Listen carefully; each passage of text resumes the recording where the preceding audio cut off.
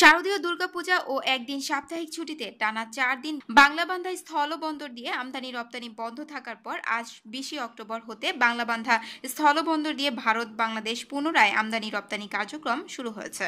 বাংলাবান্ধা স্থলবন্দর সহকারী রাজস্ব কর্মকর্তা মাইদুল ইসলাম জানান, আজ থেকে বাংলাবান্ধা স্থলবন্দর দিয়ে আমদানি রপ্তানি শুরু হওয়ার কথা নিশ্চিত করেছেন।